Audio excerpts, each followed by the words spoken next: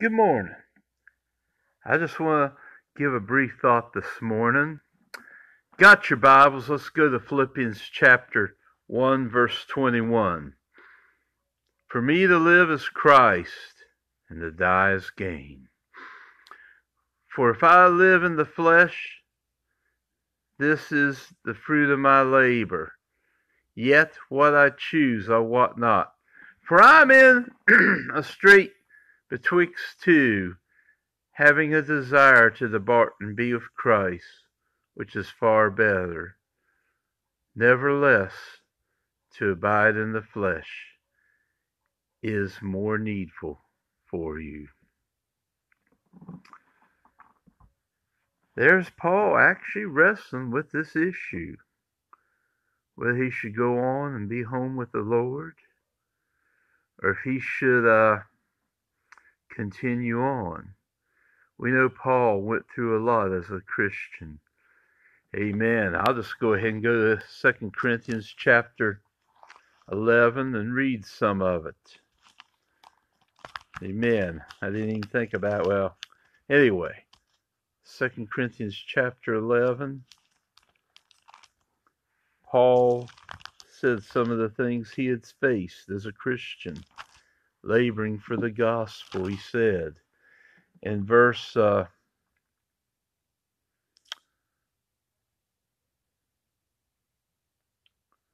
verse uh, 23 Are they ministers of Christ? I speak as a fool. I am more, in labors more than abundant, and stripes above measure, and prisons more frequent, and deaths oft the Jews five times received I forty stripes, save one. Thrice I was beaten with rods. Once I was stoned. Thrice I suffered shipwreck, a night and a day. I have been in the deep, and journeyings often, and perils of robbers, and perils of robbers, and perils of mine own countrymen and perils by by the heathen, and perils in the city, and perils in the wilderness, perils in the sea, and perils by false brethren, and weariness and painfulness, and watchings often, and hunger and thirst, and fastings often, and cold and nakedness, besides those things that are without, that which cometh upon me daily, the care the churches.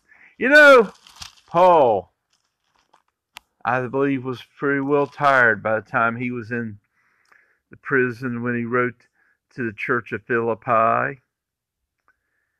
He probably knew any time he could be executed. But you know what? He never shown any fear. And I want you to know we as Christians should have that attitude. I was looking through my uh, notebooks just to see what I should deal with. And this is the story I landed upon. A preacher was preaching in Kentucky against the sin of drunkenness. Some moonshiners beat him, then told him to stop preaching or they would kill him. The preacher replied, You can't threaten me with heaven. Our hope should inspire courage. I want you to know something. I don't want to die any more than anybody else. Yes, I'll even fight death as much as I can. But you know something? I don't believe heaven's a threat. And I've made this decision to always keep in mind for me to live as Christ and die as gain.